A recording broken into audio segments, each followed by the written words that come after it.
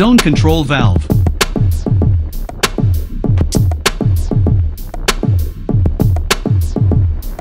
Zone Control Valve is a combined unit of four parts, signal butterfly valve, water flow indicator, pressure gauge, and test and drain valve.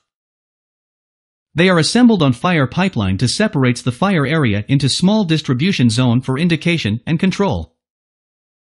Because of fire sprinkler or test valve activation, the indicator detects water flow and transmits signal to control system. After fire suppression, butterfly valve gets signal and shut down the water flow for recovering the system.